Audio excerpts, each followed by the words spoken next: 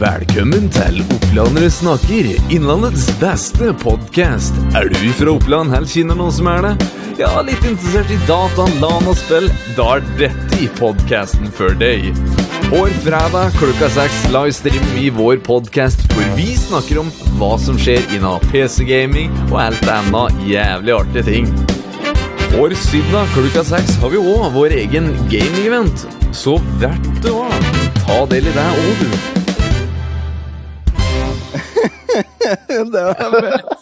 I love it. I fucking Ja. love it. Jeg Er klar over hvor lang tid jeg brukte på dette? der? Jeg er sikkert et halvt minutt, tror jeg. Men det var jævlig artig, da. Oi, oi, oi. Velkommen til Radio Toten. Eh, nei, Yes. Dette er Opplanerne Opplanderne snakker. Podkasten hvor opplandere snakker om hva som foregår innen PC-gaming. Vi er på sesong 2, episode 15. Mitt navn er Yrjan Lund. Og mine medverter i kveld er bl.a. Tor Stensrud, som var ansvarlig for dagens herlige intro. God dag. Hei, hei, jeg er Mr. Cheesy.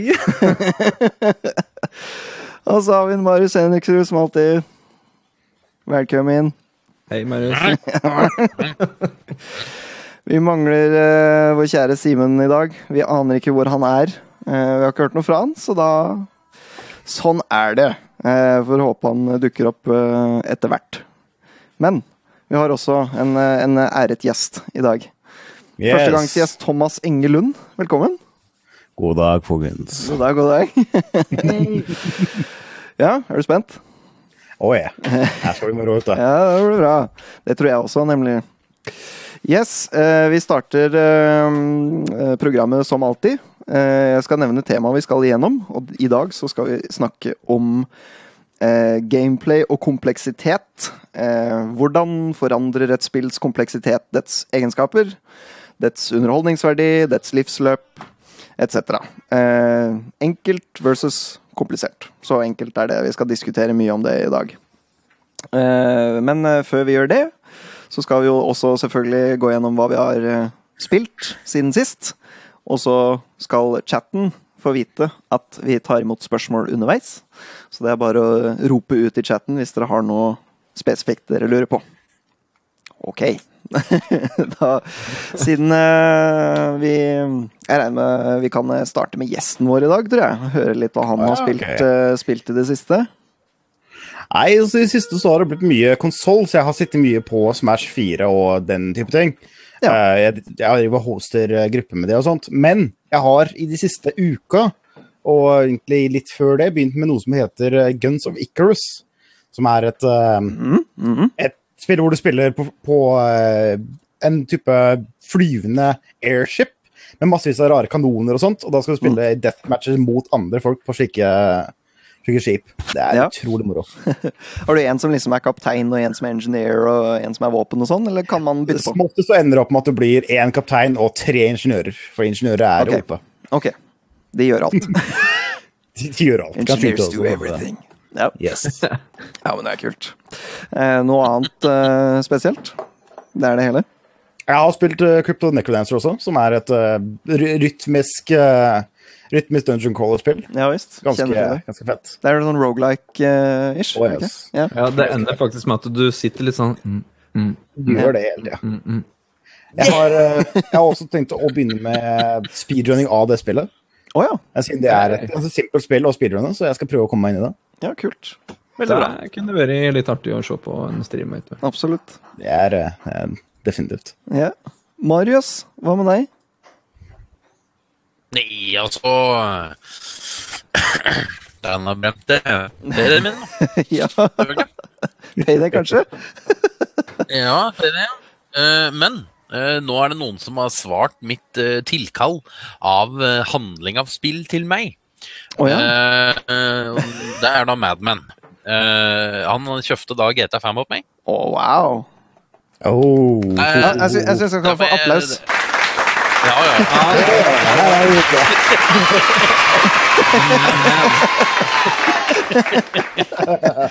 Så nå har vi drevet og rasa rundt i GTA og bare spilt sånn. Ja, Og, det er bra. Kjenner den, ja. Så, så det er derfor men, eh, men det har vært så mye online, altså, med andre ord. Ja.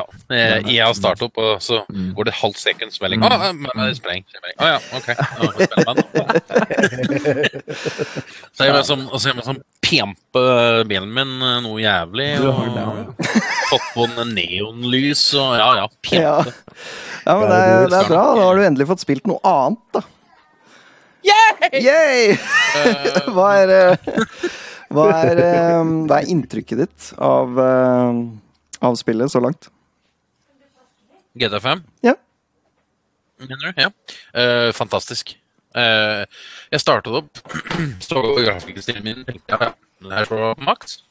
Ja. Og så bare tenkte jeg, ja, vi får nå prøve, da.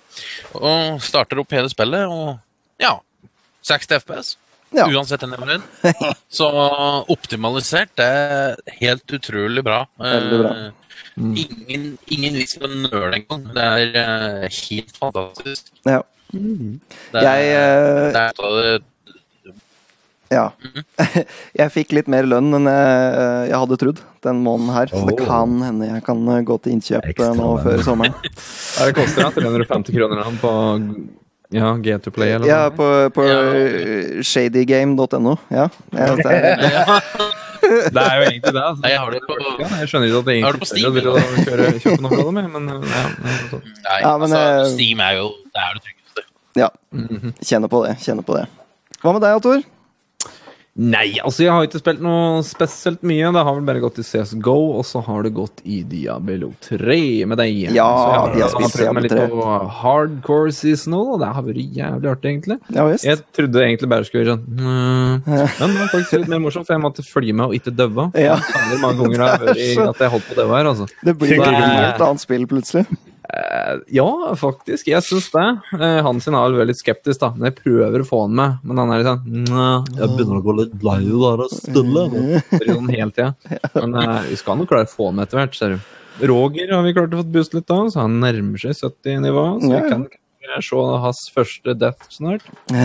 Yeah. Det kan bli bra. Det er alltid det som er det beste. Det er det som er gøy, å se den andre daua. Ja, nei, jeg har også hovedsakelig spilt Diablo 3 hardcore seasonal eh, i det siste. Um, har egentlig ikke fått tid til så mye annet. Jeg var bortreist uh, på konferanse med jobben nå fra mandag til onsdagskveld. Uh, Ja, for du så- var på noe som het så mye som Elbit heter det. Det er El- Der, ja. Elkjøp sitt uh, Skal vi si en sånn opplæringskonferanse, produktkonferanse, som skjer eh, en gang i året. Sånn vanlig, i hvert fall. Ørjan, jeg, jeg, så, eh, jeg så den eh, TV-en som du hadde Ja. lagt på på Instagram. X Jeg var litt- 9005. Det Ja. han var, så tynn. Altså, seriously, hvis hvis jeg ti jeg- jeg brød, kunne jeg nesten bare slice den litt sakte innpå. ja. Den TV-en var seriøst tynnere enn mobiltelefonen til de fleste som var der. Og det var, det var så nice å se på. Den var så Den den Den, den den. OLED-TV-en OLED-TV-en der, herregud. Ja. Det, jeg, fikk, jeg var så heldig å få se en eh, 65-tommers Ultra HD OLED-skjerm fra LG, kurva. Det var eh, aldri sett noe lignende, altså. Det, jeg ble stående og bare stirre på den, for det var så utrolig bra bilde. Ja, jeg, har, utrolig. jeg har et en i stugga. Ja, ja, ja. Koster bare 70 000-80 000 ut, liksom. Det er ikke noe, det er ikke noe stress, det. Nå kom lån, jeg. Ja, Ja, men snakker om TV, så er det jo derfor jeg møtte deg også. Ja, hvis visst er det det. Ja da. Det er, sånn, det, er, det er da du begynner å bli litt sånn nerd. Sånn, du tar opp lån for å kjøpe deg en ny TV. Men, altså. Ja, fy faen. Ja, det, er ikke, det er ikke langt unna. Folk kommer inn og skal ha finans uh, ofte. Så det... Pedro, det var technogasm der. Det er helt klart. Men um, vi skal ta eh, våre generelle nyheter. Og da har jeg selvfølgelig en liten jingle til meg selv, som også Tor Idar Vi skal ha jingles til hvert, eh, hvert segment nå, så nå får dere vente i spenning, folkens. Her er uh, jingle nummer én. Ladies and gentlemen, our sexy man, Mr. Urchin Lon, is going to present to you the latest news from the internet. oh, Fantastisk. Helt fantastisk. Ja, altså, Yrjan har alltid sagt at han mener han ikke har karisma, så derfor så må du bare litt. Vi eh, åpner med fantastiske nyheter i dag. Ehm, vi har altså fått eh, Heroes of the Storm har nå endelig gått ut i åpen beta. Og det er vi jo, eh, det er vi jo glad for. Um, Det er jo ikke ekstremt mye forskjellig fra før, da. Altså, jeg har jo jeg har liggende litt over 30 keys som jeg ikke får brukt, så Ja, det er sant. det. er sant. Hold, det. hold til opplanderne, så får gitt dem bort, da. Ja, ikke sant? jeg kan sende alle sammen. Nei, så eh, her har vi da eh, Her har vi da eh, fått uh, nyheten fra selveste pcgamer.com. Uh, og det vil jo selvfølgelig også være uh, full utgivelse. Den 2. juni så er spillet offisielt utgitt. Um, det er jo ikke lenge til. Det er to uker. Under to uker til. Så fram til da så kan de som ikke har prøvd spillet ennå, kan iallfall prøve det nå. Så da vet dere det. så enkelt er det egentlig. Um, ellers så har vi Skal vi se, jeg må få fram Der. Oh. Vi har litt triste nyheter også i dag. The Division, Division, eh, vårt kjære Tom Clancy-spill, har blitt utsatt til 2016. Det er jo ikke, ikke gode nyheter.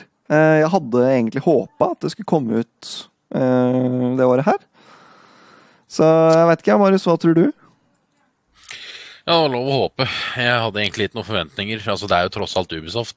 Ja. Men uh, hvis jeg skal tenke på det, er det fordi det er problematisk å få laga det, eller er det fordi de skal finpusse det? Jeg håper det er det, Det er det, da, siste. du. Det er det, vet du. Jeg, jeg tror det er tredjevalget, at det er Ubisoft. Ja, De er ikke kompetente nok til klart å få det til tider. Nei, jeg sier det. Nei, eh, vi får håpe at det er for finpussingens skyld, da. Eh, Men det står her at det kommer i første eh, Første quarter. Altså at eh, første, første kvartal på det nye året, da. Så mellom 1. januar og 31. mars. Eh, det kan hende at de Det kan Ja. Kan jo hende at de Faen, hva er det da? Ja, det kan jo hende at de Altså, jeg har mista litt troen på Ubisoft sånn, generelt. ja, du, er ikke, de, du er ikke den eneste. Nei, altså etter at de slapp nei, den Heroes, uh, Heroes of Might Magic 3 og klarte å feile på akkurat det de skulle ha inn, Ja. så har jeg mista helt troen på hvordan de fungerer. Ja, ikke sant. Nei, så jeg er um, heller, uh, heller skuffet over disse nyhetene her, fordi Men samtidig så er det, er det ikke veldig lett å Eller jeg er veldig skeptisk for å la meg hype opp da, av et Ubisoft-spill, for å si det sånn. Så Men altså, det kan hende at de, kan hende at de fokuserer på Rainbow Six Siege da, i stedet for. Ja. At de vil prøve å pumpe ut deg i år. eh, For det, det ser egentlig veldig interessant ut, syns jeg. ja. ja. Eh, Det er jo en av de andre spillene som faktisk også ser ut som det kan bli ganske kult. Eh, Så får vi bare håpe at de, de gjør det riktig. Men det er jo ikke det spillet der som Jan Thomas håper på. da. Vi ser jo virkelig fram til det nye Hom-spillet, da. Det er jo nettopp det vi venter på fra Ubisoft. Ja. Yes, Heroes of and uh, Magic, ja. Oh yes. yes, yes, yes. Mm. Når er det det kommer, da? Lenge til. Lenge til. I morgen. Ja, sånn, vi, vi kan godt kjøpe en sånn eh, pre-shit-greier og få noen sånne søte goodies som vi ikke har bruk for. ja. Altså, Jeg håper det er lenge til det neste kommer, slik at vi kan få lov til å få fiksa opp Ubisoft først, og så kan vi lansere spillet. ja. Fikse Ubisoft først, og så kan de lage spill etterpå. Ja. Ja, og ikke minst den, den ja, som andre kommenterer her, der er U-player, ja. Oh god, Ja, yes. ja, ja, ja. Herregud, det er, det er ingen som liker Uplay. Det er en dårlig stream. Jeg liker Uplay. Oh god. jeg håper da ikke det, Marius. Du er, eh, du er exception som beviser saken. Ja, ikke sant? Unntaket som bekrefter regelen. Ja. Der har vi den. Men vi har jo litt, uh, litt kule nyheter fra, eh, fra Warcraft-filmen, som skal lanseres yes. uh, i sommer neste år.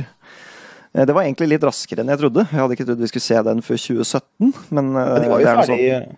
De var jo ferdig med å filme ganske lang tid siden. Ja, så det er nok mest uh, CG, sånn som vi kommer til å se av de bildene som er her. For dette her, det er Orgrim, som jeg regner med er uh, Jeg veit ikke, hvem, hvem er det i law? Er det noen som veit det? Fordi jeg er ikke kjent med Orgrim som character, nemlig. du, Orgrim, mener ja. Du mener Orgrim Doomhammer? Orgrim Doomhammer. Doomhammer er en stor fyr innen Horde. Uff, yes. Han er Han var ikke han en av dem som ledet Black Orksa opp mot Jo. eh, det søte lille Black, Black Rock Mountains, tru, og så viste det seg at de Jo. bare tapte et major battle inni der lell. Akkurat.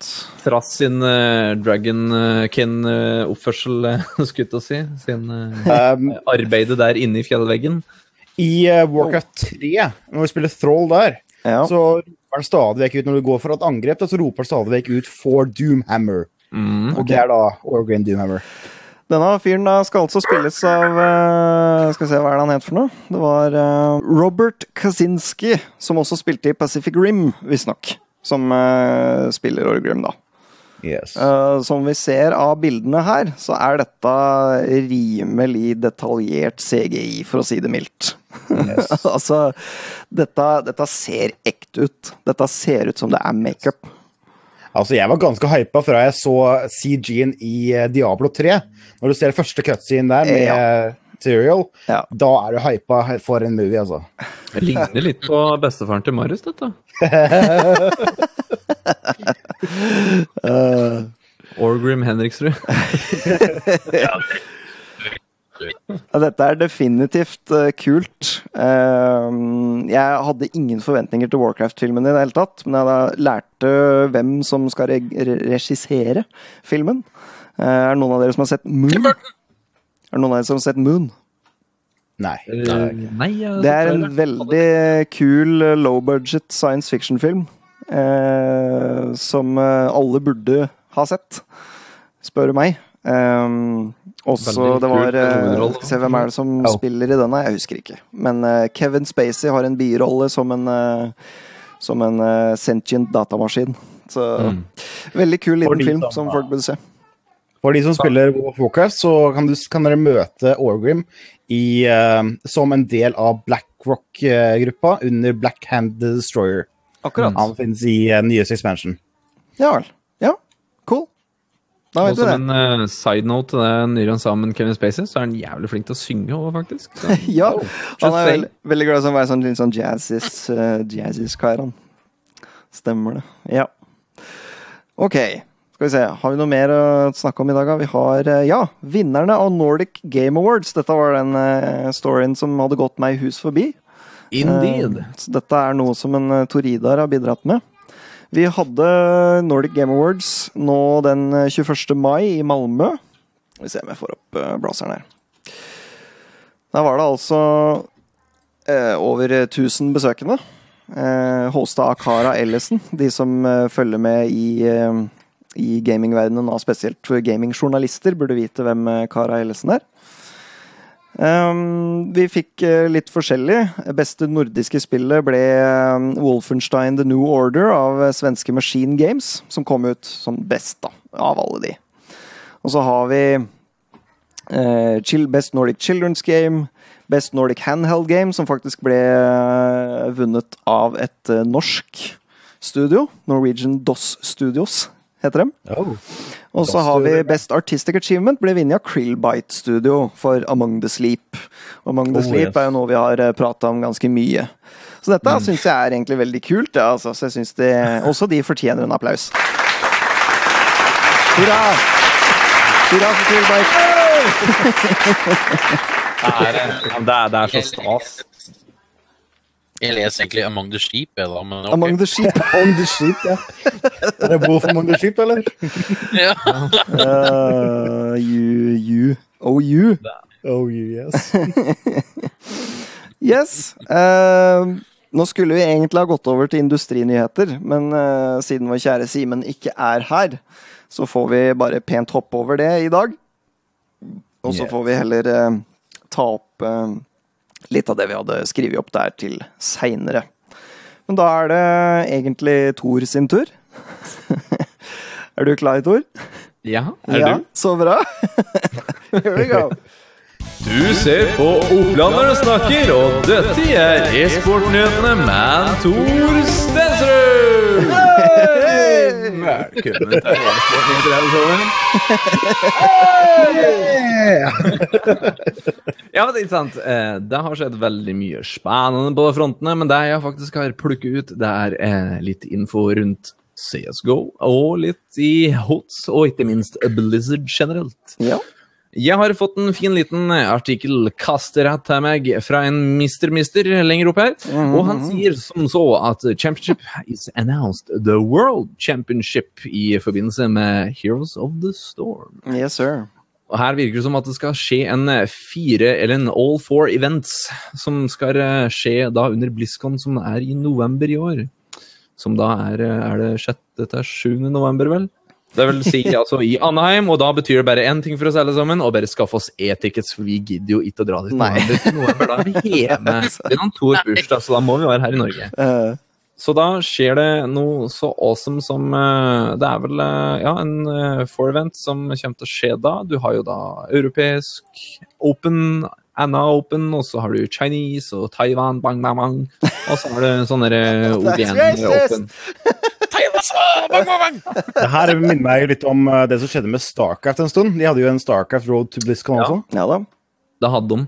Men det, er- det, er- det er der det alltid ender opp med, at det er de outsiderne som uh, styrer med sitt eget, som sørger for at det spillene kommer fram, og ikke Blizzard eller de som har uh, laga spillene sjøl. Det er litt sånn eh, ja, Det er ok, da. Ja, ikke helt riktig. League of Legends er mest Riot som holder ting der, så ikke helt. Det er noen firmaer. Sekundet før meg der, altså. Du var så Aha. sekund før meg. er på hugget der, vet du. Ja, du er så jævlig på hugget, altså. Og en annen ting, Blizzard har også gått sammen med Daventart, og de skal ha en, da, en Heroes of the Storm Ultimate Fan Art Contest. Og det kommer er til å bli kult. jævlig fett. Ja, det er dritkult, fordi de eh, fanart-prosjektene som eh, blir levert til Blizzard, de er alltid så latterlig bra. Det er bare å stikke innom den søte lille fanart-sida deres på galleriet deres, så vil du se hvor fantastisk flinke mennesker vi har rundt om i verden. Ja, Spesielt bra der, fra. Deventart, og der er det bare ta en liten tur innom, så vil du se virkelig hva folk kan å lage. Tror du, jeg, tror jeg kan vinne Tror du jeg kan vinne med en? Annika? Nei, Stickman, ja. det går ikke. Går ikke. Hvis du har laget en Stickman fighting eh, animation, så går det kanskje fint. da. Jeg kan, eh, jeg, jeg, jeg, kan, jeg kan sikkert tegne på det med skygge eller noe. Ja, du kan tegne på sverd, og så R. Yes, da har du det. Perfekt. Og så må du skrive det er og si eh, Hvor det er litt CSGO her. Det er litt viktig å få med oss. På den norske scenen i CSGO så har eh, den norske spilleren vår, Kristoffer Mustik Mikkelsen, blitt beskyldt for litt juksing. Men det viser seg at LGB og Valve sjøl har vært litt flinke, og fakt ja, faktisk klart Faktisk klart å renvaske vår kjære lille venn. Det er jo fint for han, synd for alle andre som prøver å komme seg opp i hverdagen. Nå er det slik at i sommer så vil Gamer.no ha en uh, invitasjon til en sommerturnering i da, eller for den brede masse, altså det vil si de som ikke deltar i uh, første og annen divisjon og slik, i, uh, i CS-divisjonene. De vil da ha muligheten med mange andre til å delta i en sommerturnering, og ja, faktisk vinne noe gavekort fra spillverten og slike ting. Det er altså de tre beste laga som da vil være de heldige vinnere av søte gavekort fra Spillvert.no. For de som lurer, Spillvert.no, de er jo da vertene, skulle jeg si, de som står for serverne til Gamer.no. Ja. Og blant annet eh, de vi òg kan sjæl bruke når det gjelder Minecraft eller eh, something Jeg else. søren meg bruke det når jeg skal ha tournaments. Jeg Ja. sender det til dere, og så kan du sende det videre. Er Recursive e-sport-laget har kjøpt opp uh, det agent, norske agentlaget. Som uh, da visstnok skal være en uh, god del talenter i. Sånn når det gjelder på uh, Goshu-ladderen, så har de egentlig ikke gjort det så bra i det hele tatt. Det har fortsatt vært i LGB, som har vært det troende norske laget innen CSGO-ladderen eh, der, skjønn. ja. Så, um, så jeg er litt spent på det oppkjøpet der, egentlig, av dem. Men eh, det er jo bra å se at eh, norsk e-sport begynner å tre litt mer fram, spesielt i CS-fronten for min del. Jeg syns LOL begynner å bli veldig, veldig bra. Så til og med, det kan noen nevnes som en side note, på Dota 2 så til og med eh, er det Fiskestanga-laget, eh, Ja. det norske det mest kjente, eller hva det er. Det har meldt seg på TI, det er helt utrolig. Altså The International. eh, Ja, ja. Som er nå i år. Så ja, vi får se da om de klarer å komme seg gjennom det nåløyet og komme seg videre, i Doma.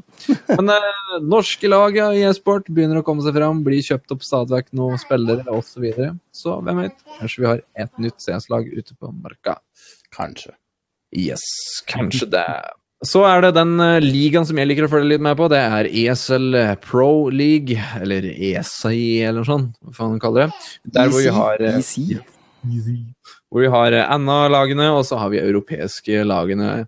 Og det som er litt moro å se her, er at på den europeiske arenaen så er det faktisk VP, altså Virtus eh, Pro, eh, som har uh, trona det hele her. Så de har gjort Ja, det ja. veldig bra nå i sluttspillet. Mens NIP ser ut som satser på Sevo-turneringa, så har de gitt full F i ESL-turneringa. Og der ligger de så langt som helt sist. Å ja. Ja, ok. Der, der er hun. Nå har jeg så å si tapt nesten alle kappene sine. Ja, ja det er jo ikke akkurat eh, Ikke imponerende, men eh, sånn går det. Ja, jeg er litt lei. Det er, jeg er sånn NIP-supporter, så jeg er veldig lei meg for det der. Men sånn går det. Sånn går det. Vinner ikke alle kamper, liksom. Kan òg for så vidt nevne at uh, LGB har jo vunnet én kamp i uh, Sevo-turneringa si og tapt, eller hatt uavgjort fem, da. Så Uavgjort så fem, faktisk. Men uh, jeg kunne godt tenke meg å se et par ekstra wins som faktisk slo Gamers 2. Ja, ja. Det kan jeg skjønne. Altså, det, det, det polske laget der, altså, vi kan ikke tillate at de slår oss. Men, hallo! Det, det går ikke. Det går ikke. Og for at den da liksom skal eh, bli en eh, pro-gamer, Marius, hva er eh, kanskje bør eh, anskaffe seg da? Ja, nei, Hæ? da må du ha en, eh, Ja, en fordi- datamus. Ja, og hva? Får man Fordi, i gang eh, igjen? Og nå, nå, nå, nå kan jeg faktisk spille den lyden ordentlig, den som jeg har spilt ved en feiltagelse helt fram til nå. Én, to, tre. Rå kraft med Marius i Hardware med Marius. Fuck yeah! Fuck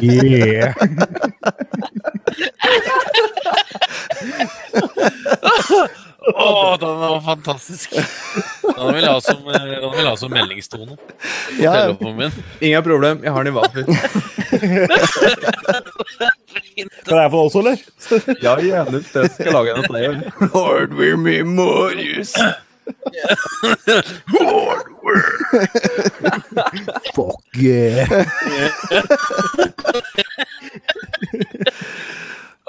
Yes. Hva skal vi snakke om i dag, Marius?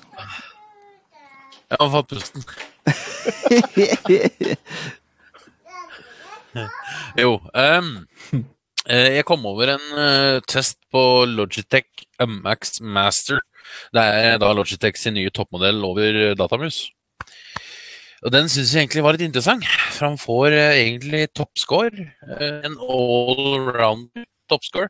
Ah, Ja, Og ja.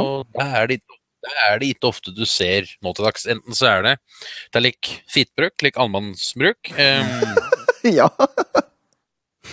eller så er det gaming. Uh, det er som ikke noe like mellomting, eller begge deler.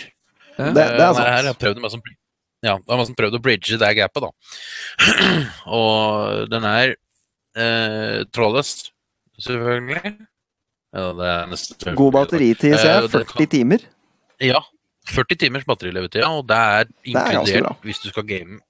Hvis du skal game, så er det Eh, Du kan koble til via Unifying, eh, den nye standarden som Logitech kjører. Yes, yes. seks forskjellige ting på en USB-dange. Jeg prøver å forklare litt hva det er for noe, hvis folk ikke vet hva det er for noe.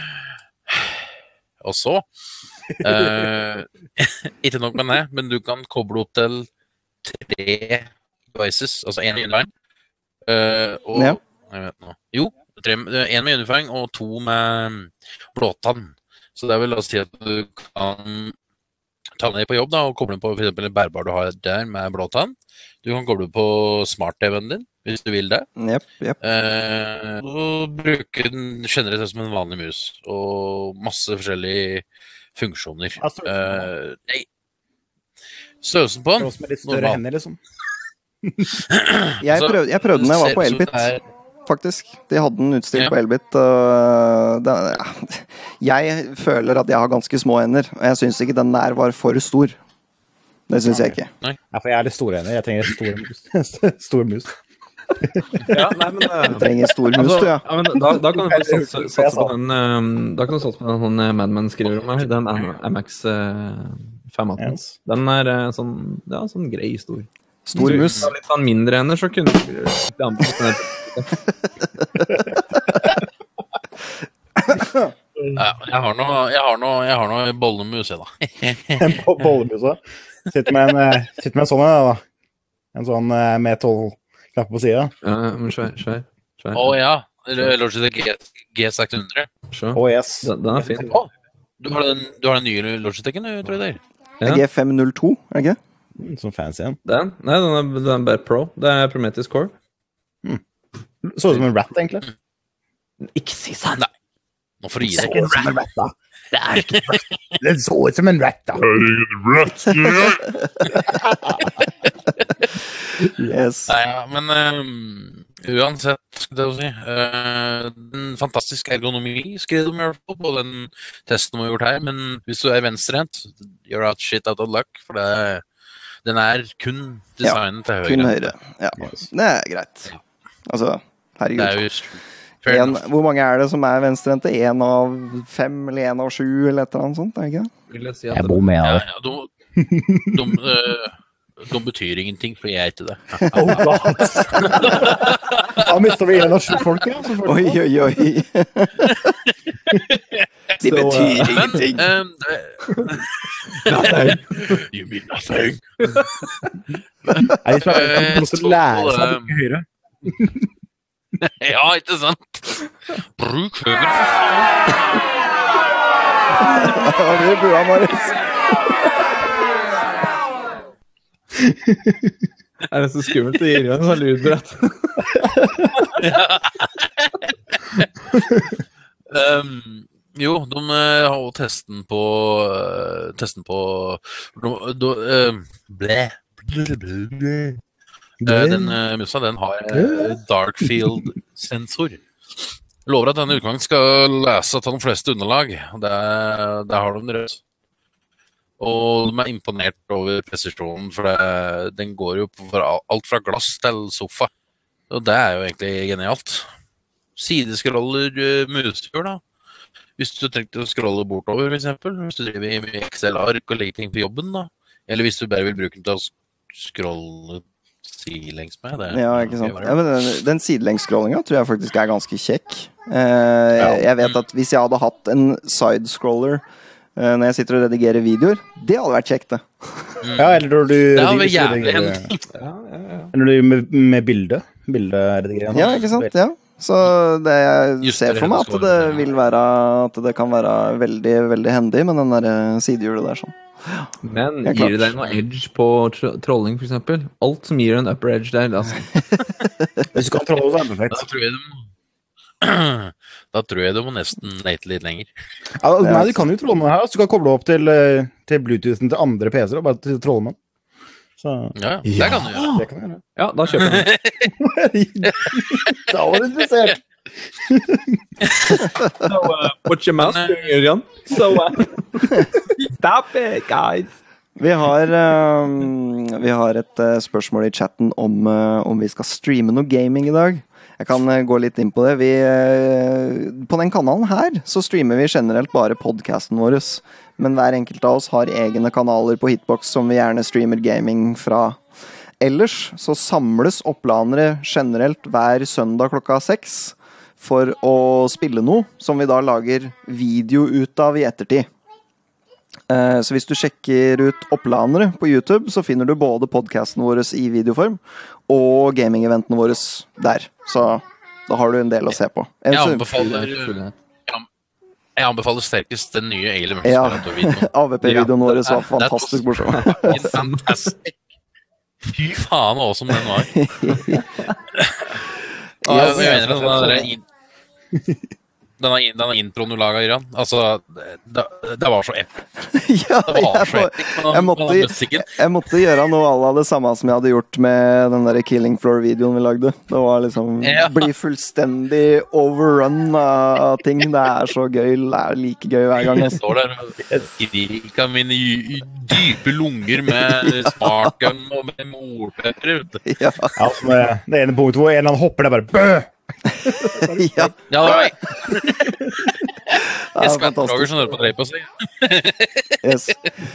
Beiju, vi, som sagt, eh, våre gaming-events vil bli avertert både på Facebook-sida vår, på Facebook-gruppa vår, på Twitteren vår, på Steam-gruppa vår. Eh, vi sender ut en notis overalt så fort det er et nytt event man kan melde seg på. Så bare Er følg med. Så... Så, Er det førstemann til mølla? det er førstemann til mølla. Det er det. Fordi det er fullstendig åpent, og vi har jo førstemann til mølla. 370 370 370 medlemmer omtrent, så Det handler om å være rask, da. Det er greit å være rask. Det er det. er overalt i vår. Yes. We're everywhere. skal vi se. Er det, noe, er det noe mer, da? Jo! Herregud, vi har glemt gjesten vår. Herregud. Yes. Thomas. Å ja, men, men er Fader, vi har en gjest her. Hei, Thomas! Hei! Very gjest. yes. Much. Har du noe meg? eh, Ja, noe. eh, som Ekadromo ser, vi prioriterer folk som ikke har vært med eh, mange ganger før. Så de, de eh, Hvis du er helt ny, så er du Yes. garantert en plass. Uansett. Det er meg, da. Er Ja. Eh, men hva har du å fortelle oss i dag, Thomas? Jeg får ikke noe intro heller. Kan ikke bare make Jeg up har ingen, intro? jeg har ingen gjesteintro, Eh, dessverre. Vent, vent, da, vent. Jeg kan finne make up en intro. Velkommen til Opplandet snakker. This is our guest. Ok!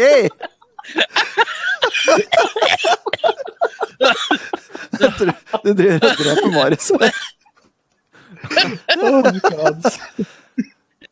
Ørlig, ja. Nei, ok. okay sorry. Herregud. Jeg skal ta og snakke litt om uh, Path of Exile. Ja, Så dere så dere er ferdige? Vi må vente litt på Marius. tror Takk, Hansen. Takk. Ja. hva, er, hva er egentlig Path of Exile? Hva er det Path of Exile er en uh, action RPG. eh, Ganske lignende Diablo og den serien. Uh, Path of Exile nå, kommer nå med sin uh, tredje expansion, jeg tror jeg. Tredje? Uh, The Awakening, som er den nye, veldig, veldig lenge venta på uh, expansion, hvor vi slipper ut act nummer fire. Da, med act nummer fire så kommer det da massevis av nye monster. Uh, massevis av uh, nye skills. Og jeg har sett på noen av de skillsa, og det ser mye rart ut der. da. Masse kult. Det, uh, se om jeg kan få det opp på streamen her. Det er yes, jeg har, jeg har lagt inn på det. De har også lagt inn noe som heter en, en skill jewel. Som er jewels som du kan putte inn i skill 3. Og for de som ikke har spilt Path of Exile, så har Path of Exile et gigantisk skill 3. Hvor alle classes kan gå inn i an uh, alle andre talents. Um, som er en av de morsomste tingene. Se her, ja. det er en, enten så er det asfalt, uh, groundhog eller sun. Yes. Strength uh, men from passives in radius is transformed dexterity. Wow, dette er kult. Veldig kult. Og i de nå så kan du putte inn i spesielle sockets ting som for eksempel um, Du får ekstra curse hvis du har nok intelligence i et område. Mm. Eller du får inn en ekstra um, uh, Du kan connecte flere av de passivene uten at det faktisk har gått til dem. Som utrolig, kommer til å være utrolig mye bysom, mest sannsynlig. Ja. Uh, du kan også transforme all strengthen into dexterity, og det er masse sånne spesielle ting. Så jeg, kom, jeg tror vi kommer til å se mye rart som skjer der. Det kommer også en hel haug med nye legendaries og andre typer items, og endelig, endelig så har de skaffa seg en katana. Jeg har venta på en Ja, katana jeg så det, ja. ja. Det ser lovende ut. Katana er deilig. Eh, de, også, de gjør også en helt ny og en helt overhåling av hele gameplay og um, UI og alt mulig rart.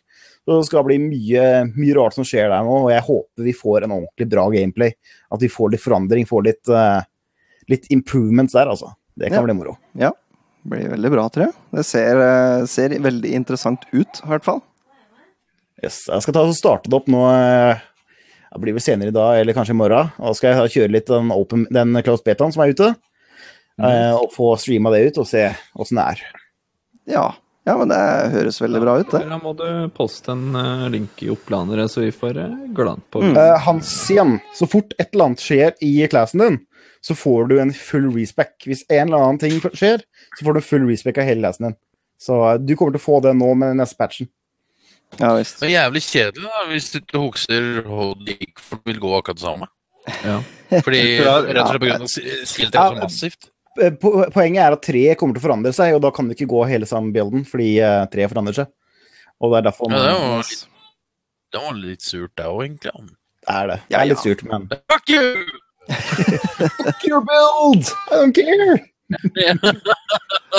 Men det er så masse rare build, så masse bra build, så det er alltid en måte å få av den builden du har lyst på. Så Ja. Jo, jo. jeg, altså, jeg personlig spilte Jeg spilte en uh, Inferno Blow Marauder i Altså, den var langt ute av meta, men jeg klarte å få det til å fungere. Vent, nå. Ja. Blow? Inferno Blow. Det er, en, eh, det, det er en build som gjør at når jeg dreper et eller annet med det angrepet, så sprenger de og gjør damage alle rundt seg. Eh, Jeg gjør den om til en AOE, slik at jeg angriper alle foran meg med den buildet. Og når det begynner å sprenge, så sprenger bare hele greia. Det er jo litt sånn necroman.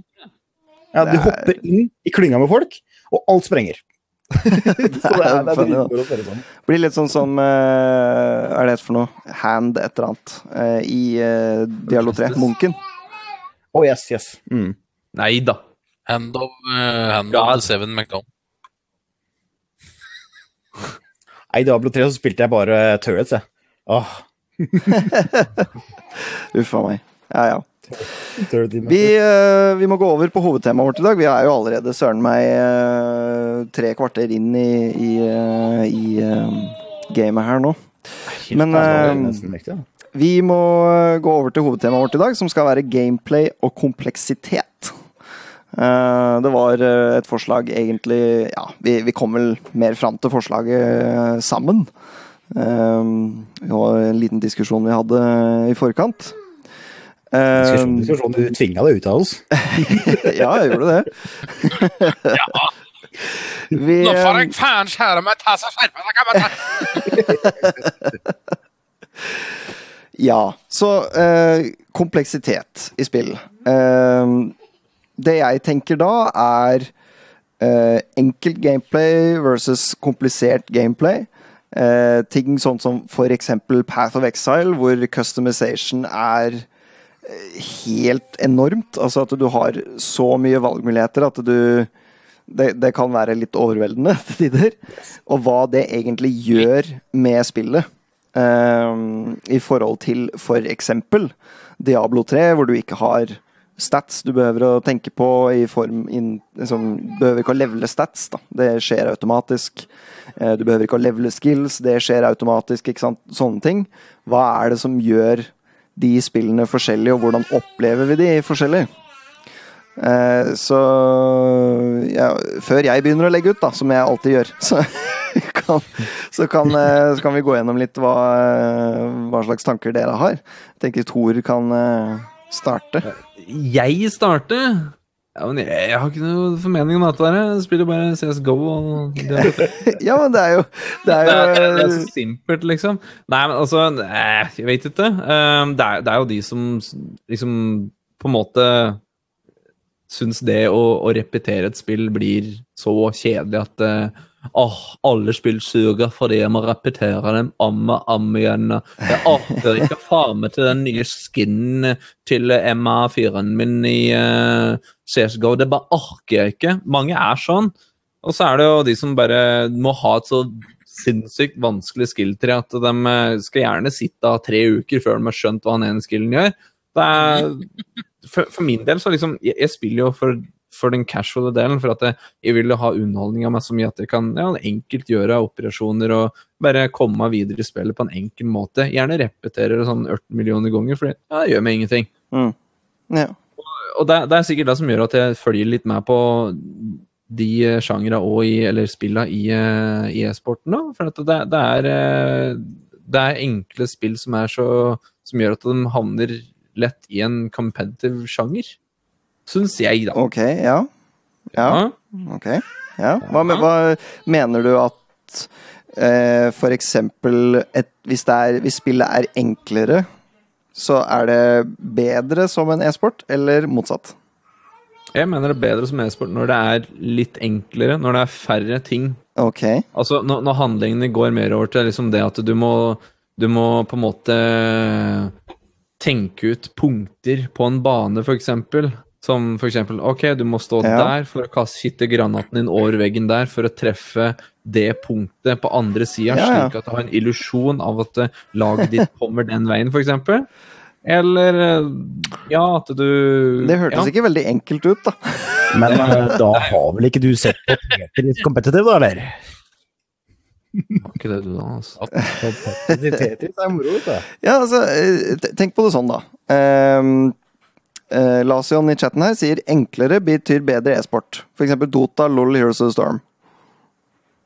Tenk, Det er, tenk det, er, det er jeg egentlig ikke enig i. Ikke gjør det. Nei, Nei. altså ikke nødvendigvis. Uh, ja, jeg skal innrømme at eh, når det er enkelt altså, hm, Ta Counter-Strike, da. Det er jo et enkelt spill, men det har utrolig mye dybde.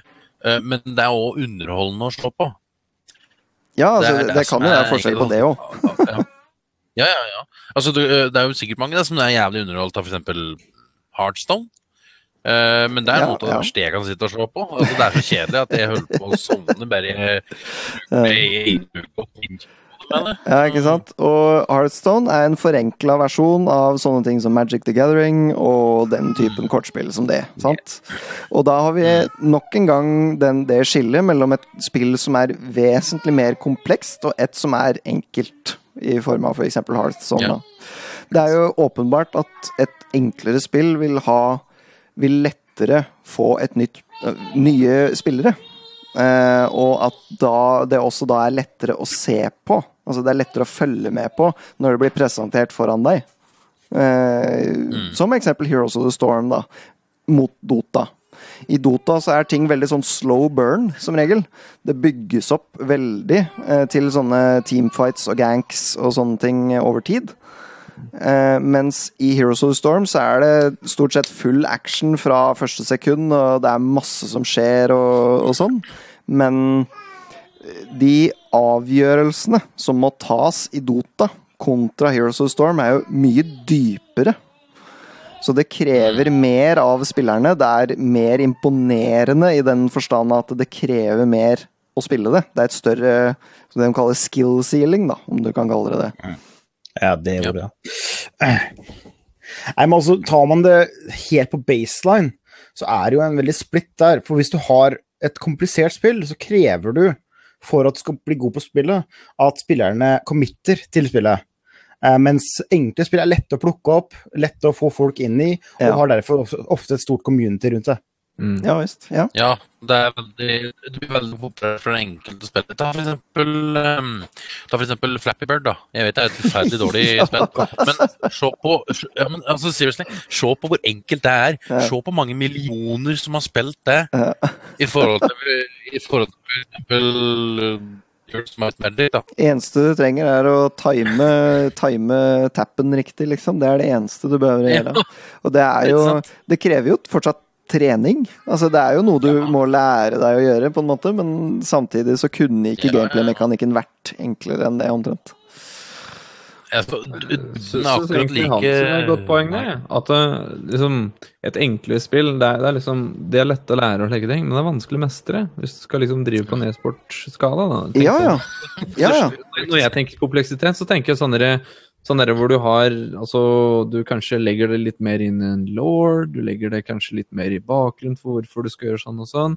Du, du på en måte har et Ja, at kanskje det er bygd opp slik at du må må på en måte balansere ut ditt skill til det. Ja, ja, ja. ja. Så du, du, du ser for deg gjennom litt mer, og liksom for å på en måte eh, mestre det, da, eh, i en sånn forstand at du, du på en måte eh, går gjennom en, en eneste lang historie, kan du si, da, framfor det å så på en måte ha en rep repetitiv eh, opplevelse, kan du si. For det, det, Det du sier, er basically at uh, kompleksitet er det å måtte utvikle seg over tid, framfor det å få alt sammen, og så kunne starte med alt sammen samtidig. ja, liksom det føles litt okay. sånn på en måte, syns Ja. jeg, da. Ja. Det er, fair, det. Vei på din, ja. ja. Nei, um, Ja, Jeg tenker ta, på- ta WoW, for eksempel. Tidlig WoW, Vanilla-WoW, ikke sant. Faen hvor mye knot vi måtte sitte der. Må WoW nå, ikke sant. Bare, sånn- bare du trykker på én knapp, så pff, alt mulig. Full epic. ja, ja. Hva faen, altså? Skal da sies at folk sugde ganske kraftig når du spilte ganske altså, Fadilla WoW også, da. Ja, men lalla. Jo, Det var, det var ikke veldig mange gode spillere da. Jeg, jeg ser på det som at komplisert uh, Mer kompleksitet betyr at det krever mer av den som sitter og spiller, i form av enten dedikasjon i, over tid, uh, vanskeligere avgjørelser som må tas, eh, mer hånd-øye-koordinasjon som kreves, ikke sant, sånne ting. Um, Ja. eh, I ja, hvis, vi, hvis vi sammenligner f.eks. League of Legends, da, som er en av verdens største e-sporter per nå, eller verden, verdens største spill. ja. Kan ikke ta Dota 2, for det er litt mer interessant. Mot eksempel er Heroes of the Storm. Som er det enkleste av dem.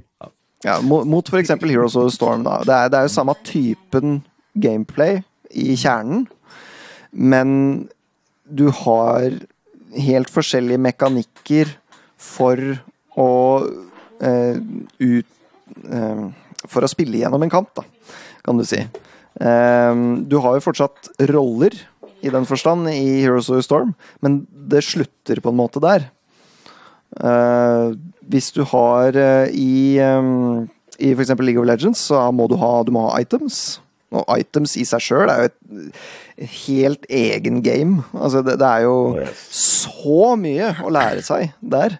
At det er, et, en, det er et enormt aspekt av spillet som man også må være god i. Eh, ikke bare det å flytte karakterene sine rundt på skjermen og treffe det man skal treffe, men man må også da, ha eh, sånn decision making ability, da, som Du må også ha en liksom, bank av informasjon i hodet. Ja. Ja.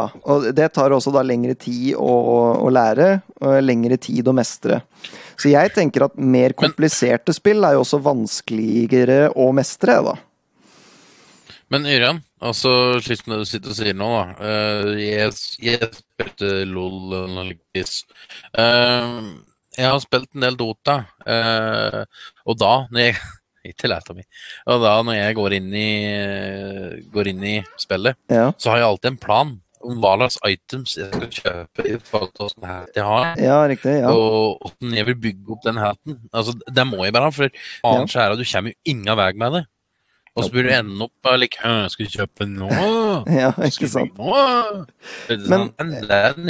Noe av, det, noe av det man må kunne, er jo også det å tilpasse seg, ikke sant? Istedenfor Ja. for å følge en bestemt retning. Du kan gå inn, med en, inn med en plan, men være åpen for å justere det. Ja, Det er jo der du har den kompleksiteten, syns nå jeg. da. Ja. Ja. korte gameplay Ja, det- opplegg at du har Altså, de fleste har liksom en, en individuell plan, ikke sant? Men så kommer jo den, den multiplayer-delen som på en måte setter levelen opp der, mener jeg. Og så, og så må du tenke litt ut sammen fra Oi, hva er det motstanderen kommer med? Og da begynner du liksom laget å tenke litt mer sammen. Oi, da skal du skaffe det. Du må kanskje skaffe det. Og Ja, så gjør det litt Synergi. sånn sånn. Ja. Ja, ja, den synergiske kompleksiteten. Var det, var det smart? Det hørtes veldig smart ut, Tor. Ja, det, ja, det hørtes veldig smart ut. ti poeng. Det er bra. Ti, poeng.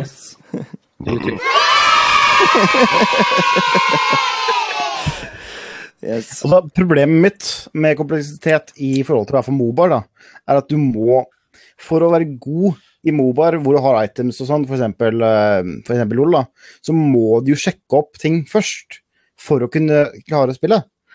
Eh, så det blir jo da, igjen da vanskelig å plukke opp, fordi du, du kan ikke bare hoppe inn i spillet og bare Nei, det er helt sant. på, Ja, ja, ja. altså, Gears Storm kan du hoppe og vinne. selv jeg som har spilt Dota i mange, mange år ehm, Jeg spilte Heroes of New Earth lite grann. Eh, jeg spiller, spiller Dota 2 nå, jeg spiller Heroes of the Storm, men noe av årsaken til at jeg har kunnet gå over til Heroes of the Storm, var fordi jeg ikke behøvde å lære meg alle items og sånn på nytt. Og jeg behøvde ikke å lære Heroes på samme måte, fordi i Heroes of the Storm så er det jo lagt opp til sånn at du får ikke um, uh, Du får ikke alle skills med en gang. Du er nødt til å holde deg til et bestemt skillset når du starter, sånn at du har mindre Du har færre valgmuligheter, da. Så de tar valg bort fra de som ikke har erfaring til å gjøre noe med valget. Og det er egentlig ganske smart. Men på den måten så kan du justere kompleksiteten til spillet over tid. Og det er et ganske interessant konsept, syns jeg. De har ikke fjerna det totalt, Hansin. De har flytta det fra hero level til account level. Så jeg vil da si at når du går opp i account level, så får du låst opp flere og flere skills på heroes etter hvert. Er ikke det litt, litt teit, det også, i forhold til at da må du liksom spille gjennom mye, og en fyr som er level 1 da, vil være på en severe disadvantage i forhold til en fyr som er høyere level? Men ikke med ordentlig matchmaking, vet du. Nei, men da stoler jeg igjen da på at matchmakinga fungerer. Det er noe så. Det er noe så. Men uh, igjen, uh, det som også er såpass ålreit med Heroes of the Storm, er at de har kutta ned på spillengden. Og det er også Men, noe som vi kan nå- snakke om i forhold til det med kompleksitet. Altså hvor lang tid det tar å spille en runde, f.eks. Eh, hva, hva slags eh, tid og energi man må sette av for å komme gjennom en, en game. Hva er det du skulle si, Magnus? Uansett Nei, altså Nå går det veldig mye like e-sport-skitt og slike ting. Men jeg tenkte også på RPG-er. Altså ta for eksempel ja, Skyrim er vel kanskje og Det er kanskje komplisert da, i forhold til mye annet. Mm, ja, ja. Uh, altså Det er det som er jævla komplisert uh, game. Eh, jeg er veldig Jeg spiller ikke det så mye. Jeg spiller ikke RPG så mye heller. Jeg føler at Nei, jeg har ikke tid til det. I RPG-er så er det bedre med høy kompleksitet, fordi det gir mer å utforske. I, når du går inn i RPG, så Jo, jo, går du inn jo, jo. for å utforske. Mm. Ja, altså, jeg er enig jævla komplisert og juft RPG osv., men hvorfor skal du velge det over et, for eksempel et veldig simpelt, men underholdende skøtespill, da? For eksempel. Altså, det, det har jo da hjemme hva folk liker å spille. To forskjellige forskjellige Ja. opplevelser. ønsker. ja Ikke er, sant? mange folk går inn i Final Fantasy Fantasy for eksempel, for historien bak ting, og hele historien og opplevelsen. Uh, mens med en, ja, uh, med en ja. action game så får du action and action hele tida. Så det, det er Ja, jo det som er har du jo- forskjellen på de to. Så har du jo de som vender, da. For eksempel Borderlands. Ja. Det, det, Mm. Kare, ser, ser ikke det fantastiske spillet som blir nevnt her? Ja, South Park, ja. Ja, ja, ja.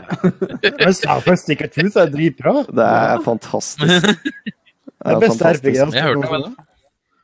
Jeg har ikke spilt noe Altså, jeg er ikke noe like RPG-fanboy, må jeg si. Men uh, jeg har spilt liksom Borderlands, som Men- kombinerer. Uh, som egentlig lander Ja, ja. flere forskjellige sjangere. Det Mer er jeg sånn- veldig glad i, fordi der har du Ja, for da har du uansett tid til å, å sette deg ned, kanskje å spille et par timer.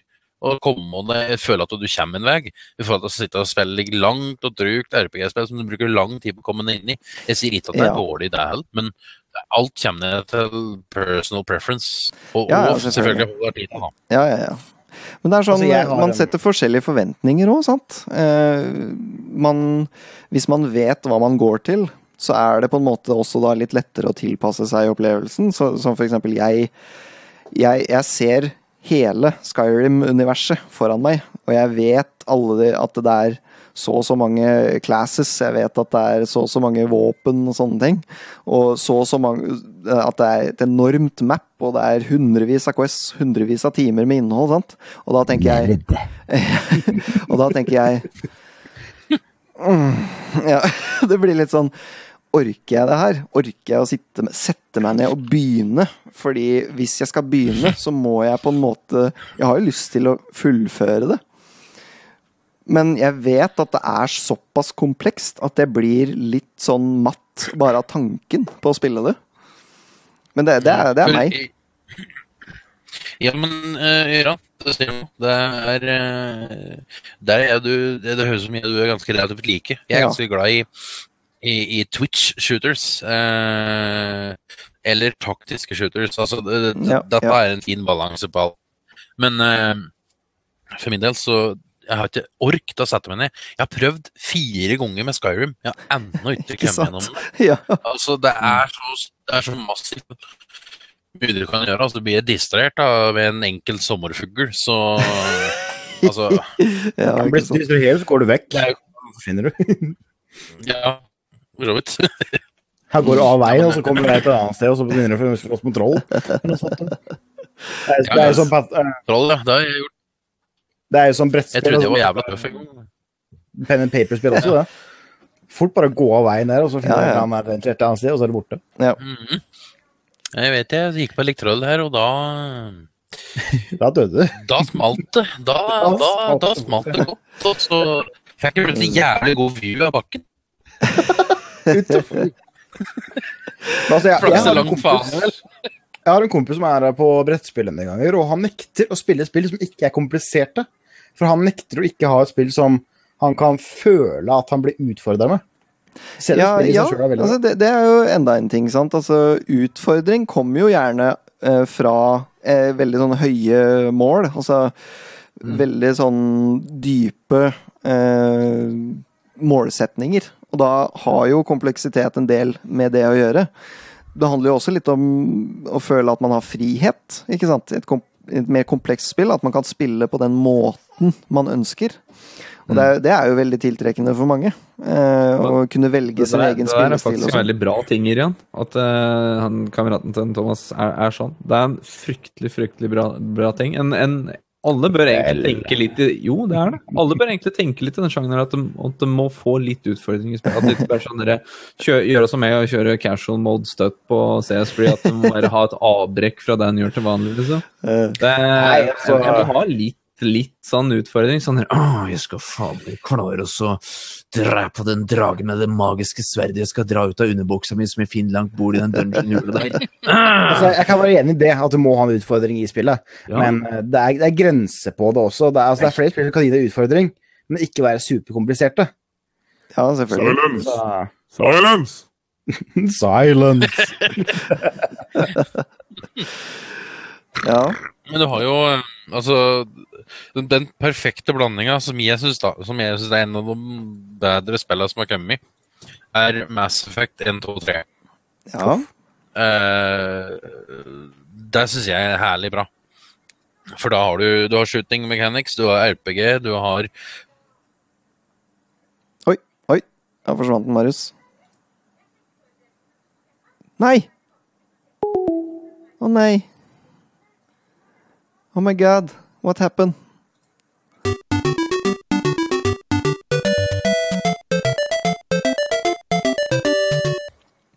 Jo da. Eh, jeg er for så vidt enig med Marius. Jeg liker eh, litt sånn hybrider. At du har frihet til å eh, ta valg underveis, men også da at gameplayet ikke går såpass sakte, da. At, eh, at du jeg, jeg blir utålmodig, eh, kjenner jeg, i, i den typen spill. Så eh, jeg vil gjerne ha et bestemt mål med en gang. Jeg vil gjerne ha eh, I RPG-er spesielt så vil jeg ha veldig mye hjelp. Sånn til å begynne med, så vil jeg ha mye hjelp. Fordi jeg aner ikke hva jeg skal gjøre. Sånn som en, eh, Divinity Original Sin, for eksempel. Det er en av de største RPG-ene fra i fjor. Så jeg kommer med en liten uh, innrømmelse her. Jeg, jeg, Ja. jeg, kom, jeg kom forbi andre mission på eh, Mass Effect, og så droppa jeg det. Ja, skjønner. Det er lov, det. Altså, jeg, jeg, jeg kan godt skjønne ikke spilte mer, for jeg synes det var fryktelig interessant til å begynne med. Men sett deg ned, hør på historien. Og så det som er så fint, at historien følges sømløst gjennom alle tre spillene. Det vil si, har du en save-game fra eneren, begynner på toeren, så hokser NPC-er og ligger ting valga du gjorde i eneren, og, og så videre over i treeren, hvis du vil. Det det, det er det jeg liker så godt. Og det er første spillet jeg har satt meg ned og virkelig kost meg med historie. Mm. Ja. Det er et det er ofte jeg gjør for Jeg- Som en, Skip, skip, drap, da! Ja. Er vi nevnte hørt nevnt Pillars of Eternity her også. ja. Pillows of Eternity er jo helt nytt, eller ganske nytt nå. ja. Det, det er mye kompleksitet der også. og De, de skal jo gjøre den veldig customizable, så du kan legge inn hva enn du vil her. Ja. Det, det syns jeg er fett med det spillet. Ja, ja. Altså, valgmulighet er kult, det. Det er bare Det er vanskelig Som du sier, eh, mer kompleksitet gjør det vanskeligere for spilleren å sette seg inn i. Så jeg, for eksempel, som ikke har veldig mye erfaring med RPG, og egentlig ikke har spilt eh, de store RPG-ene gjennom tida, sånn som Fallout, uh, Boulders Gate, ikke sant, de der store RPG-ene, de har jeg aldri spilt. Så jeg har ikke Fallout, noe ja. Jeg har ikke noe, jeg har ikke noe ordentlig liksom, grunnlag for å eh, For å komme meg videre, på en måte. Så da, da ønsker jeg meg en RPG hvor jeg har muligheten til å både eh, få, få, en, få hjelp som, som noob, da, kan du si.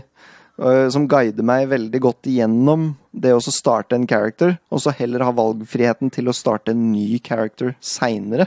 Hvor jeg da kan begynne fra scratch og bare gjøre alt på egen hånd. Det er egentlig Skyrim ganske bra for deg, for altså, da har du veldig mye valg til å alltid starte over hele tida. Ja, det, det er noe Så sånn. kan det være en sånn drageslayerman.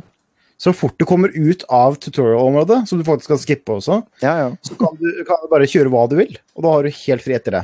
Ja. Men du kan følge historien og bli liksom guida gjennom alt det med, med initials og eh, ja work. Mm. Så, Ja, så nei, jeg har, jeg har jo litt å gjøre der. Det er sånn, sånn jeg begynner, begynner med det når du er 32 og har eh, kanskje en time til disp hver dag, sånn dedikert en time til disp for å spille, så blir det litt vanskelig. Da, da starter du med MMO. Black Desert er eh, mulig å få Ja, til. ja, ja, ja. start med WoW, du. Ja, gjør det. Det, Det har jeg spilt, da. Epics på første dagen. Ganske altså. mange ganger. Men uh, ja. Uh, er det noen Men- flere tanker, uh, Marius? Ja, altså, jeg tenkte på um, liksom Fallout, da folk ble like Oh my god! Hot, hot, hot, hot, hot, hot. Ikke sant? Men um, Ja, men Fallout er bra. det som er med Fallout Altså, ja, det er veldig bra, helt sikkert. Eh, jeg gikk ut av voltet. Første du gjør etter å ha fløyet rundt som en liten guttekalv og bare har det jævlig kjedelig. Eh, og så gikk jeg ut, og så så jeg på pipboyen min, og tenkte jeg mm, Og så exitet jeg. Ja. Så jeg har ikke spilt uh, Fallout 3 veldig mye. Nei, altså, jeg har jo bare spilt Fallout New Vegas, da, som er uh, en ganske god oppgradering av alt annet. Ja. Ja. Det var uh, mye Så jeg bra. hører folk sier like, oh my god, det er så bra, så bra, og så videre. Men jeg har aldri gått hatt ork. Ja, det Og kan ikke hende. minst dum voice actorer som er med der. og gjør det litt sånn ekstra spennende. Yes. Jeg husker uh, Rune viste meg en sånn scene med en sånn uh, selvbevisst kaffemaskin inni et sånn rart rom et sted. Yes. Å, fy faen! Ro. Det er noe av det beste jeg har hatt i et spill noen gang. Og i, uh, i Fallout så er det veldig mye Masse easter eggs og sånt, masse ting du kan finne. Det, er, det er også en av de morsomme tingene med RPG-er. Det å kunne finne ting som ikke egentlig er ment å finne, men uh, ting som er der. Sånn som aliensa i uh, Fallout New Vegas. Ja, riktig. Mm. Hva med enklespill? da? hva, slags, hva slags enklespill liker vi? Er det noen som har noe, noe inn, innspill der? Nå er Candy Crush! Kommer til å klage på det, men jeg Hva er det du legger i 4 enkelt? Nei, altså, tenk deg et spill som er såpass renska for valgmuligheter og gameplay-mekanikk. da. Oh. Eh, simple kontroller, eh, simpel grafikk. Eh, ikke sant? Veldig sånn rett fram-spill som allikevel har gitt deg mye underholdning. da. Uh, fotball i ballbingen med ungdommer. Og det, det er jævlig enkelt spill. Eh, dypere. Plants vs. Zombies blir foreslått i chatten her. Det har jeg hatt Det det veldig moro med. Ja. Er. Men Det er et eh, godt eksempel. mange folk vil si Ja, at Smash har gått til å være veldig, veldig enkelt nå. Og hvis, i, i så fall så er det et spill som er enkelt, som jeg kan sitte i timevis med. Ja. Hvorfor er ikke Kerbal Space Program nevnt hans sin? Det er fordi ingen av oss spiller det, tror jeg. Jeg skulle gjerne spilt det, men eh, Jeg har, jeg har ikke prøvd det. Jeg har, eh, jeg, har, jeg har prøvd det. Jeg har prøvd det, men jeg laga en rakett som så ut som en penis, og så gikk det til helvete. det gjør som hos oss det. En, en, en, en, en romrakett er vel per definisjon et fallus, så det kan vi vel bare si at alle raketter ligner på peniser, og så kan vi si det er greit. Mm. Så vidt. Pokerball, ja. Eh, jo, uh, jeg, jeg ja, ja, Mario Kart, ja. ja. Det er jo Men altså Det er jo fort... Nei, det, jeg vet ikke hvordan jeg skal definere det så mye. Binding of Isaac, Preben, det mm, Når du ikke har fullført det 500 ganger, sånn som det du har, da er det et enkeltspill. Men det er ja. Altså, det er jo en del haug med kompleksitet til den også. Alle sånne dungeon crawlers er jo det. Fordi du har masse disse items og item-kombinasjoner. Ja, ja. Men altså, når man starter det opp, ikke sant Så da, da, er, da er det skyt med den knappen, beveg deg med den andre. Ikke sant? Du- du- That's it. Skal vi, skal vi seriøst ta oss og sende invite til Jackie og eh, Eka? For at de er litt sånn professor på dette med komplekse og enkle spill, egentlig. De vil bare ikke innrømme det. 292 timer på Binding of Ja, det er litt, da tror jeg, det, tror jeg du ligger langt foran oss alle andre, for å si det sånn. Um, Prøven, jeg, jeg slår på PD2, da. Jeg har 295. Herlig. Jeg tror jeg slår dere alle. Jeg har litt over eh, Jeg har litt over to år online på WoW. Nice. Nå no Det blir mer av et år eller noe. Nice, det. Yes. Men jo, forslag på un underholdende, ekstremt simple spill da, for min del. ja. One Finger Death Punch. ja, ja herlig eksempel. Det er, Yes. Ja, Det er så enkelt som du bruker museknappene dine, og that's it. Ja. Og det er så underholdende at eh, det skjer noe hele tida. Det flasher hele tida. Ja, Det er jo ja. ufattelig underholdende. Det er jo det som er hele poenget med å sitte og spille. At du blir underholdt. Ja. Ferdig med saken. ja, ikke sant. Spiller egentlig ikke noen rolle du er for noe. Nei. Det er så fantastisk bra. Match Your eh, Friends, ja. Herlig. Match your Friends, Vi har en video så, av Match Your Friends på kanalen vår. På Random Things-playlista. Så bare du, Den må du titte på, for det er meg og Thor som sitter og spiller. det var jævlig funny. jeg tror vi er nødt til å gå videre, for nå er vi faktisk eh, ti på halv åtte. Uh, vi skal ha ukas anbefaling. Det må, vi, det må vi lage jingle til, Tor, for det har vi ikke. Hei, jingle! Hey. Ja, men, Ta eh, Improviser en, da. Kom igjen. Litt autotune og litt chorus og sånn, så blir det bra. Hæ? Hva? blir det her, vet du. Ukas anbefaling! Herlig! Veldig bra. Yes, Thomas. Go ahead. Yes, Ukas anbefaling. Jeg står nå og tipper litt mellom uh, Path of Exile og Guns of Icarus, men jeg skal fortsatt gå for en Guns of Icarus. Ja. Uh, som sagt, jeg snakka om Guns of Icarus before. Det er en um, uh, Du er på steampunk-skip, ute og skyter med kanoner og sånt. Yes. Og er, de har community som er ganske gode på å Hvis du ønsker å lære, så hjelper de deg inn i spillet. De forteller deg hva du skal gjøre, de sier hva, hvilke, eh, hvilke kanoner du burde armere, og hva du burde reparere. Så når du hører på de, så funker det fint. De har Ja. også en veldig bra in game voice chat, så commanderen kan sitte og kommandere deg rundt. Ja. Cool. Fine. Du, du har spilt en del, skjønner jeg, siden du, siden du anbefaler det. Jeg fikk, jeg fikk det en uke siden, så siden det så har jeg Skal vi se her, se jeg finner uh, finner spillet her. Uh, Guns of Icarus, der. Mm. Ja, jeg har eh, 62 timer på den siste uka. Såpass, ja. Ok. Ja. Jeg vet ikke. Det, det, det er som en Madman sier, at eh, jeg, jeg også har sett en del gameplay av Guns of Icarus, men jeg, jeg finner vanskelig å Jeg tror ikke det er helt min greie, men jeg har litt, litt lyst til å prøve det. Men vi får se. Hvor mye koster det nå? Vet du? Eh, akkurat nå Det var på tilbud. Da kosta det 5 dollar, som er 35 kroner. Å cirka. ja, såpass, ja. Men da er det jo det er ingenting. Det er jo ikke noe. Ja, ok. Ja, men det er supert. Det var ukas anbefaling. Flott. Jeg vil eh, gå videre til ukas gamingrelaterte YouTube-video.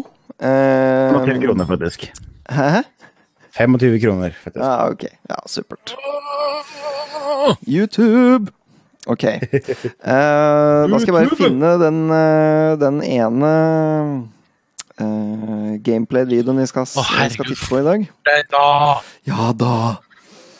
Uh, vi tenkte Å, å se på Witcher 3 launch-traileren, men den er litt lang, og så tror jeg det egentlig er litt bedre å diskutere det vi skal uh, Så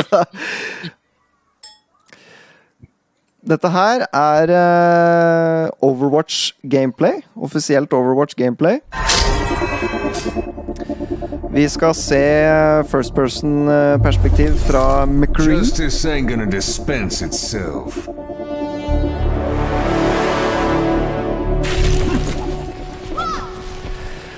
Eh, Jeg tenker at vi kan diskutere litt rundt det vi ser her, og eh, hva vi eventuelt syns om det. Glass. Er det likt Team Fortress 2? Lik- Det er- Det er veldig den grafiske stilen, ja. Absolutt. PC-skjerm. Det er litt mer detaljert eh, Ser deg litt mer detaljerte omgivelser. Jo, jo, altså han ser jo det, men likheten i stila, det ser han.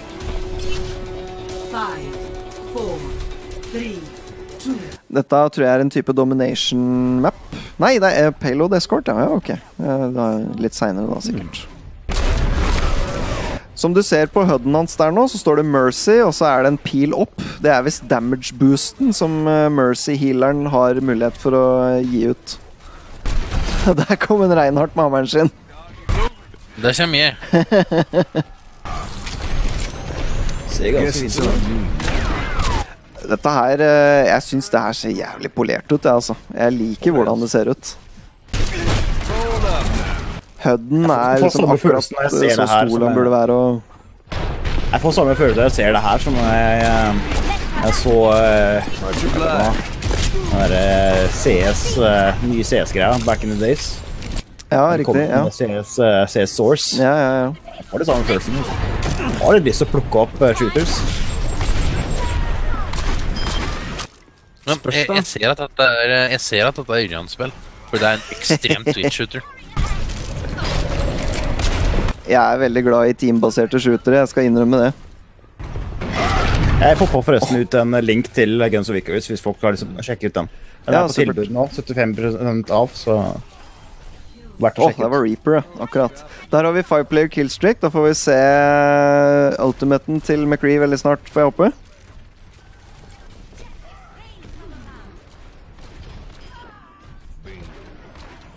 Vent.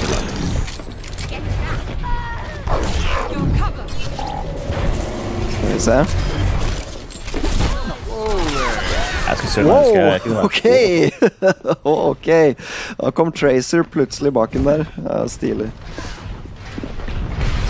Jeg skulle søren ønske jeg kunne spille så bra som det her, altså. For jeg... Nei, det får jeg aldri til. Ikke noe problem. Det setter meg på saken. Yes. Jeg liker eh, Jeg må si jeg liker den grafiske stilen her veldig, altså. Dette er eh, Jeg syns det er veldig kult. Minner meg litt om eh, Hva heter det spillet? Planetside. Vel, ja. Ja, kanskje. ja, jeg er Jeg er, ehm, er egentlig veldig spent på å se åssen Unreal Torment skal konkurrere med, med slikt. Ja. Ja, ja er antagelig så vil, nok, eh, så vil det nok bli eh, at Unreal Tournament er for litt mer spesielt interesserte, kan du si. Ja, det, det er jeg er redd for at jeg blir den eneste som har det. Det er det nok ikke, for det er free to play, så det vil jo bli veldig populært oh, ja, uansett. stemmer det. Da skal få den veien. Så da Det blir det mange av dere. Uansett så er det gratis. Så. Han kan jo Eller han blir støtta av Mercy, han fyren her, da, så han blir heala konstant, men allikevel. Ja, der, ja. Der, eh, der døde den første gangen. Ja, faen ikke før sagt det, vet du, så. Ja visst.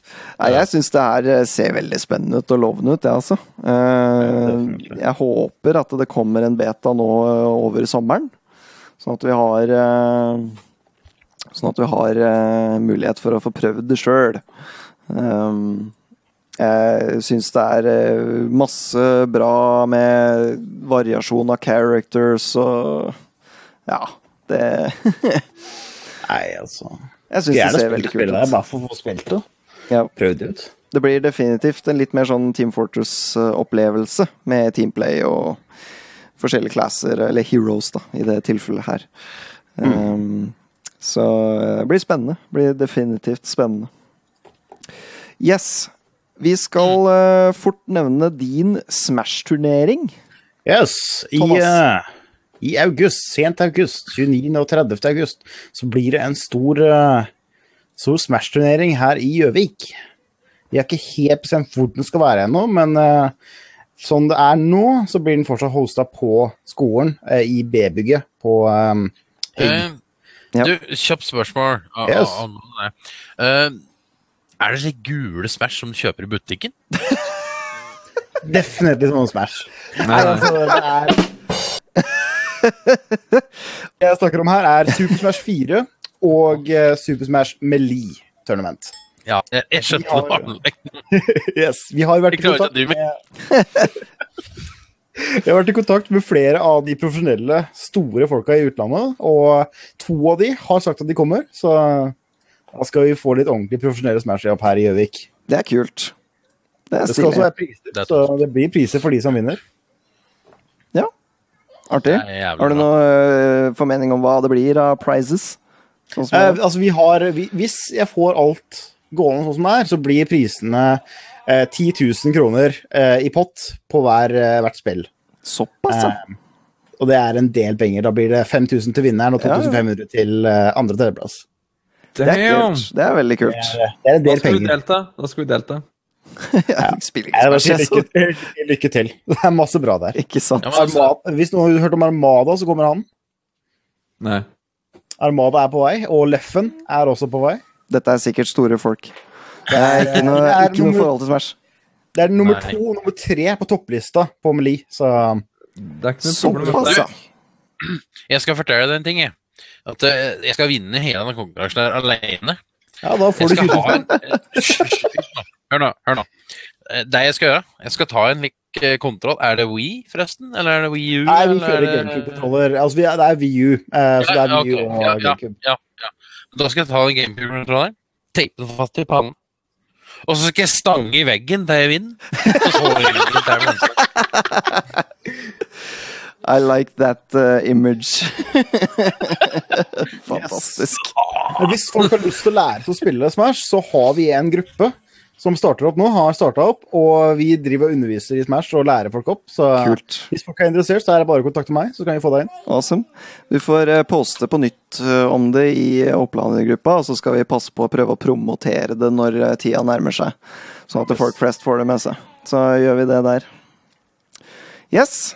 Da skal vi Skal vi se, vi skal Ja. Gaming-event på søndag. Det skal vi snakke om. Eh, Det blir ikke noe gaming-event på søndag, fordi jeg skal reise til min, eh, mine foreldre i morgen. Eh, Faren min fyller 60, så det er ikke noe jeg kan hoppe over, for å si det sånn. Nei, det er Yrjan skal reise hjem til hjemlandet sitt, ser du. Det er derfor det tar litt tid. Sånn. Ja, jeg må, det er en lang flyreise. Det er ikke litt langt å reise til Mars, da? Jeg mente det var Kina. Han skal til Asia.